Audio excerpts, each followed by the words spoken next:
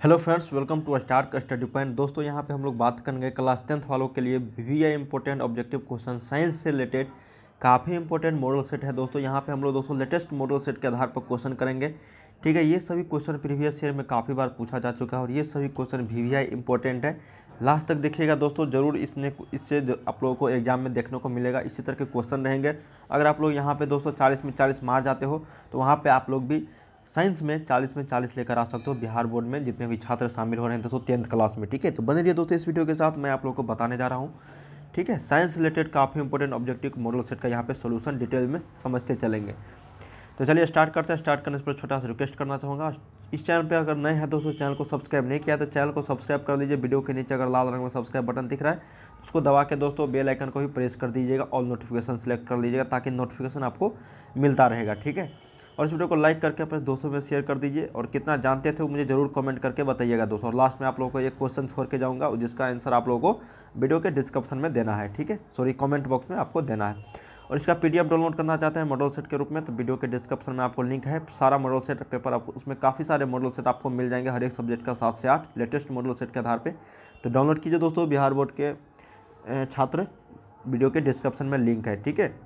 या फिर गूगल में जाके सर्च कीजिए स्टार का स्टडी पॉइंट डॉट कॉम चलिए स्टार्ट करते हैं। पहला क्वेश्चन है कि वास्तविक वस्तु का आभासी प्रतिबिंब कब बनता है? वास्तविक वस्तु का रियल इमेज रियल ऑब्जेक्ट है। दोस्तों, वास्तविक वस्तु का आभासी प्रतिबिंब जो बनता है इमेजिनरी बीम तो ये कब बनता है दोस्तों? कौन से दर्पण में?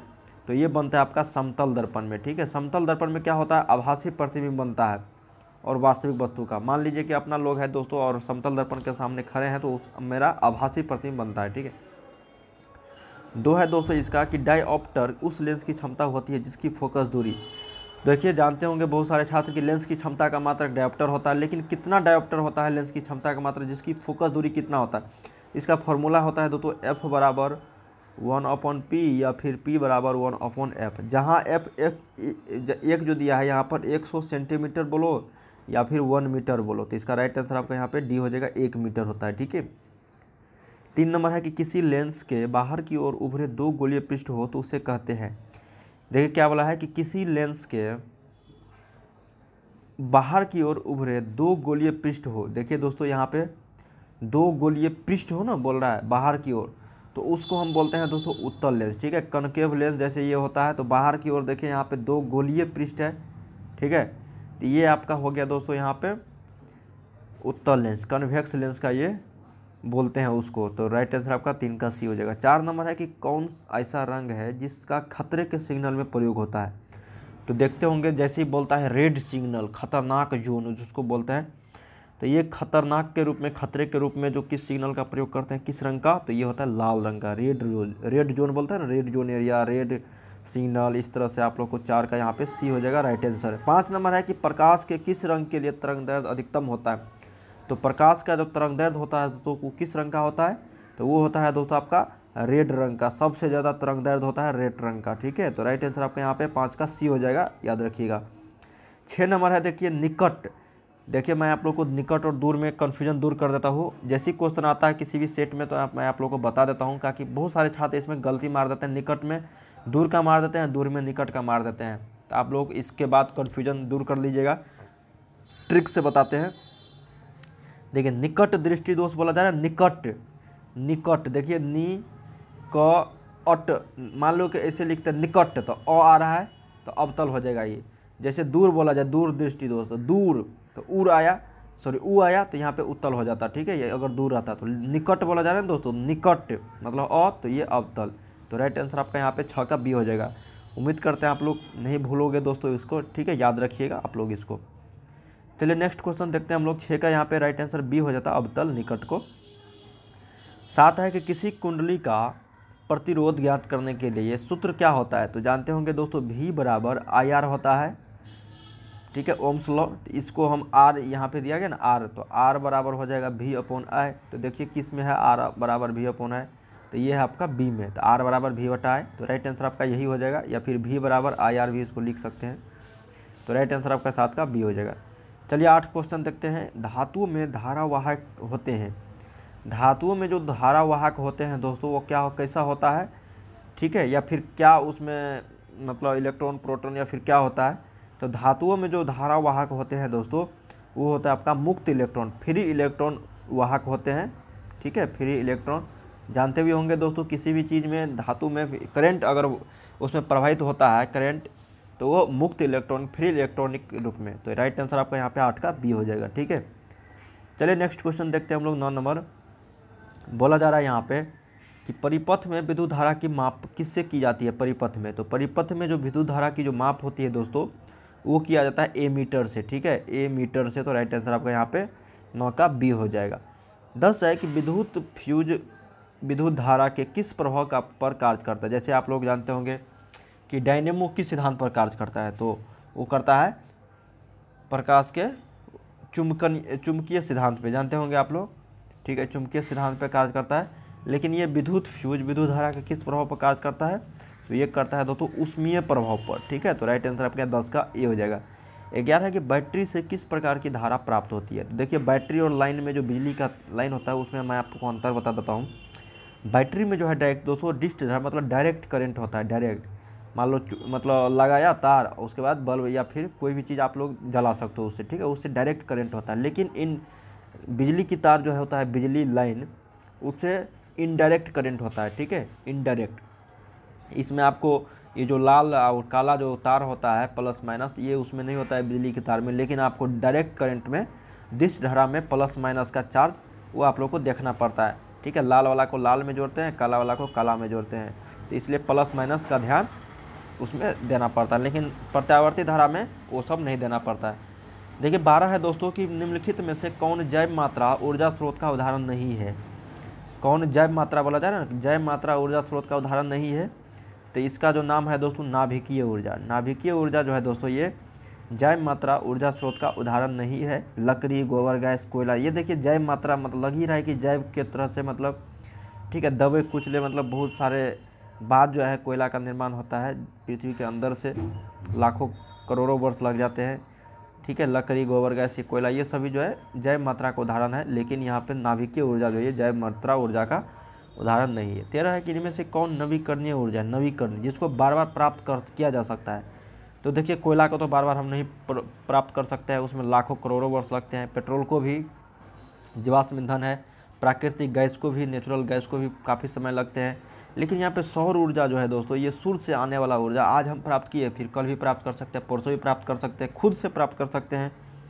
तो इसका राइट आंसर आपका तेरह का सी हो जाएगा यहाँ पे सौर ऊर्जा, ठीक है, जिसको नवीकरणीय स्रोत बोलते हैं। चौदह है कि निम्नलिखित में से कौन अवकारक है? देखिए, ऑक्सीकारक और अवकारक पढ़े होंगे तो यहाँ पे अवकारक बताना है कि अवकारक कौन सा है। तो एच टू जो है यहाँ पे अवकारक है, ठीक है? एच टू जो है वो अवकारक के रूप में यहाँ पे है। पंद्रह देखते हैं दोस्तों, निम्नलिखित में से पीएच का कौन सा क्षारक बिलियन का मान देता है? देखिए, इसमें मैं आप लोग को ट्रिक बता देता हूँ। अगर क्षार और अम्ल में आपको नहीं पता है कि कौन सा अम्ल क्षार, कौन सा पीएच क्षार होता है, कौन सा पीएच अम्ल होता है तो देखिए ये मान लो है मतलब पीएच मान, और ज़ीरो यहाँ पे है। अगर ज़ीरो से बड़ा है मतलब सॉरी ये सात है दोस्तों, सात क्योंकि सात पे उदासीन होता है, ये जल होता है। अगर सात से प्लस है, ठीक है, और सात से अगर माइनस है मतलब छः है, पाँच है, आठ है, नौ है, दस है, इस तरह से अगर बढ़ता रहा इधर और ये सात से घटता रहा तो देखिए अम्ल अगर बोला जाए ना आप लोगों को, अगर अम्ल अगर अम्ल बोला जाए तो ये होगा सात से कम, अगर क्षार बोला जाए तो हो जाए सात से बड़ा। तो देखिए सात से बड़ा कौन है यहाँ पे? तो ये है यहाँ पे सिर्फ़ तेरह। देखिए तीन ऑप्शन ऐसा रहेगा आप लोगों को, जो सात से कम या फिर सात से बड़ा रहेगा। तो वो आप लोग मतलब बिना देखे भी मार सकते हो। जिसमें दो सात छः, देखिए सात के बराबर तो होगा नहीं क्योंकि ये जल का उदासीन होता है। तो सात से कम वाला देखेंगे तो ये अम्ल हो जाता है, लेकिन छार बोला जा रहा है तो यहाँ पे तेरह हो जाएगा। ठीक है, इस तरह से आप लोग यहाँ को देख सकते हो इसको। तो राइट आंसर आपका यहाँ पे तेरह हो जाएगा। सोलह के निम्नलिखित में से कौन सही है? सही बताना है दोस्तों निम्नलिखित में से। तो देखिए आप लोगों को बता दूँ, ये फार्मूला है दोस्तों N A two C O three into five H two एक गलत है, ठीक है? सही क्या है दोस्तों? तो N A two C O three into ten H two है। ये जो है सोडियम कार्बोनेट का फॉर्मूला ये सही है, ठीक है? N A two C O three into ten H two तो राइट आंसर आपका यहाँ पे सोलह का बी हो जाएगा। सत्रह है कि लिटमस रंजक बैगनी रंग का होता है, जो निकाला जाता है। लिटमस पेपर जो रंग, रंजक है, वो बैगनी रंग का होता है, जो निकाला जाता है किस, यहाँ पे, लाइकेन से, हल्दी से लाल पत्ता, गोभी से, या पी, पेटूनिया फूल से। तो ये निकाला जाता है लाइकेन से, ठीक है? लाइकेन से निकाला जाता है, लिटमस रंजक बैगनी रंग का होता है, उसको लाइकन से निकाला जाता है। नेक्स्ट क्वेश्चन हम लोग देखते हैं अठारह नंबर। कि शुष्क बुझा हुआ चूना पर क्लोरीन गैस की क्रिया से कौन सा पदार्थ बनता है? तो शुष्क बुझा हुआ चूना पर क्लोरीन गैस की क्रिया से जो पदार्थ जो बनता है दोस्तों, उसका नाम है आपका विरंजक चूर्ण, ठीक है? विरंजक चूर्ण बनता है तो राइट आंसर आपका यहाँ पे अठारह का ए हो जाएगा, ठीक है? चलिए नेक्स्ट क्वेश्चन देखते हैं। सोडियम क्लोराइड का पीएच मान लगभग होता है। देखिए सोडियम क्लोराइड ये अम्ल हुआ दोस्तों, ठीक है? सोडियम क्लोराइड तो सोडियम क्लोराइड का जो पीएच मान होता है लगभग यहाँ पे, वो होता है आपका चौदह, ठीक है? तो राइट आंसर आपका यहाँ पे उन्नीस का डी हो जाएगा चौदह। बीस है कि नीला थोथा का रासायनिक सूत्र क्या होता है? तो नीला थोथा का जो रासायनिक सूत्र है दोस्तों C O S O four into क्या होता है? देखिए, नीला थोथा का तो C O S O four into five H two लेकिन सोडियम कार्बोनेट का N A two C O three N two ten H two इसमें कन्फ्यूज़न मत होइएगा, सब में टेन एच टू ने मार दीजिएगा, लेकिन नीला थोथा यहाँ पूछा जाए तो C U S O four into five H two हो जाएगा। चलिए नेक्स्ट क्वेश्चन देखते हैं हम लोग कि जब सोडियम हाइड्रोक्साइड जिंक से अभिक्रिया करता है तो कौन सा उत्पाद बनाता है? प्रोडक्ट बनता है। देखिए sodium hydroxide N plus zinc के साथ अगर अभिक्रिया करता है दोस्तों तो ये जो बनाता क्या है दोस्तों, देखिए आप लोग को। N A two Z N O two plus H two O बनाता है, ठीक है? यहाँ पे जल के रूप में जो है, यहाँ पे प्रोडक्ट निकलता है। N A two Z N O two plus H two O तो राइट आंसर आपके यहाँ पे किसका डी हो जाएगा? ठीक है, इसको आप लोग रिएक्शन कराइएगा। अभिक्रिया करता है तो ये उत्पाद बनता है। चलिए नेक्स्ट क्वेश्चन देखते हैं। बाईस नंबर की पीतल क्या है दोस्तों? पीतल। जिसको हम लोग बोलते हैं, कॉपर भी बोलते हैं, कॉपर पीतल। तो कॉपर जो है दोस्तों, ये होता है आपका यहाँ पे मिश्र धा सॉरी कॉपर तो दूसरा हो गया, लेकिन पीतल बोला, पीतल एक मिश्र धातु है दोस्तों। मैंने गलती बता दिया पीतल जो है एक मिश्र धातु है, ठीक है? तो राइट आंसर आपका यहाँ पे हो जाए मतलब सी हो जाएगा। चलिए नेक्स्ट क्वेश्चन देखते हैं तेईस नंबर की ब्रोमिन अधातु की अवस्था क्या होती है? तो ब्रोमिन जो है, वो द्रव अवस्था में रहता है ब्रोमिन अधातु है, लेकिन द्रव अवस्था में पाया जाता है। तो राइट आंसर आपका तेईस का सी। चौबीस है कि निम्नलिखित में से किस हाइड्रोकार्बन के तीन आबंध होते हैं? तो हाइड्रोकार्बन ऐसा कौन सा है जिसमें तीन आबंध होते हैं दोस्तों? उसका नाम है आपका सी थ्री एच फोर देखिए, इसमें तीन आबंध है, ठीक है? तो राइट आंसर आपका यहाँ पे हो जाएगा चौबीस का सी ठीक है? चलिए नेक्स्ट क्वेश्चन देखते हैं हम लोग पच्चीस नंबर की चीनी का रासायनिक सूत्र क्या है? तो चीनी का रासायनिक सूत्र बहुत ही इजी है सी बारह एच बाईस ओ ग्यारह। सी सिक्स एच ट्वेल्व यहाँ पर सी टू दिया है। अगर C six H twelve O six रहता तो ये ग्लूकोज का है, लेकिन ये चीनी का है। सी बारह एच बाईस ओ ग्यारह। छब्बीस है यहाँ पे कि हीलियम परमाणु के बाहरी कक्षा में कितने इलेक्ट्रॉन रहते हैं? तो हीलियम परमाणु के जो बाहरी कक्षा में इलेक्ट्रॉन रहते हैं दोस्तों, उसकी संख्या है यहाँ पे टू ठीक है? मतलब दो रहते हैं हीलियम परमाणु के बाहरी कक्षा में इलेक्ट्रॉन। सत्ताईस है कि सौ पोषी पोषण के लिए आवश्यक है? सौ पोषी पोषण के लिए जो आवश्यक है दोस्तों, क्या है? सी ओ टू क्लोरोफिल सौर ऊर्जा, इनमें से सभी है, ठीक है? तीनों है सौ पोषी पोषण के लिए, जैसे पेड़ पौधा, ठीक है? दूसरे पर निर्भर रहता है, उसके लिए प्रकाश संश्लेषण की क्रिया मतलब अति आवश्यक है। देखिए, अट्ठाईस है दोस्तों कि कबक में पोषण की कौन सी विधि है? कबक में। तो कबक में जो है वो कौन सा विधि है? सोपोषीय मृतजीवी है संभोजी है या फिर कोई नहीं। तो ये जो है दोस्तों आपका मृतजीवी है, ठीक है? कवक तो राइट आंसर आपके यहाँ पे अट्ठाईस का बी। उनतीस है कि क्लोरोफिल वर्णक का रंग क्या होता है? तो क्लोरोफिल वर्णक का जो रंग होता है दोस्तों, वो होता है आपका हरा, ठीक है? क्लोरोफिल वर्णक का रंग। तो राइट आंसर आपके यहाँ पे उनतीस का ए हो जाएगा। तीस नंबर देखते हैं कि पैरुवेट के विखंडन से यह कार्बन डाइऑक्साइड जल तथा ऊर्जा देता है। यह क्रिया होती है कहाँ पे? तो ये जो क्रिया होता है दोस्तों, आपका ये माइटोकॉन्ड्रिया में होता है, जहाँ पे ऊर्जा का निर्माण होता है। पायरुवेट के विखंडन से कार्बन डाइऑक्साइड जल तथा ऊर्जा देता है माइट्रोकॉन्ड्रिया में। ऊर्जा आ गया तो माइट्रोकॉन्ड्रिया मार देना। चलिए नेक्स्ट क्वेश्चन देखते हैं इकतीस नंबर, कि यदि हमारे आहार में आयोडीन की कमी है तो हमें किस रोग के होने की संभावना है? तो उसका नाम है दोस्तों आपका ग्वाइटर, गलगंड, घेंगा, इसी का नाम है एक दूसरा पर्यावाची बोल सकते हो तो इनमें से सभी हो जाएगा। तो राइट आंसर आपका इकतीस का डी घेंगा ग्वाइटर, गलगन, ये सभी होता है, ठीक है? बत्तीस है कि एस्ट्रोजन श्रावित होता है। एस्ट्रोजन जो श्रावित होता है दोस्तों तो वो किस तरह से होता है यहाँ पे बताना है आप लोगों को। तो देखिए, एस्ट्रो, एस्ट्रोजोन जो श्रावित होता है दोस्तों, ऑप्शन है विषम द्वारा, अंडाशय द्वारा, लेंगर हेस की द्वीपिकाओं द्वारा, या फिर आपका थायराइड द्वारा।